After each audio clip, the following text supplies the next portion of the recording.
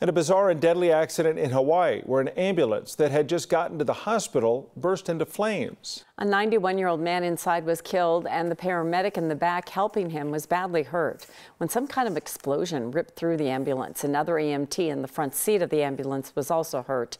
Firefighters were able to put out the fire about 10 minutes afterwards, but investigators are still trying to figure out exactly what happened.